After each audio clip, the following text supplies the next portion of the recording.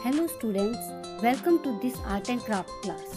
Today we will learn gift wrap with all wedding cards. इसके लिए हमें चाहिए कोई भी आपके पास पुराना wedding card scissor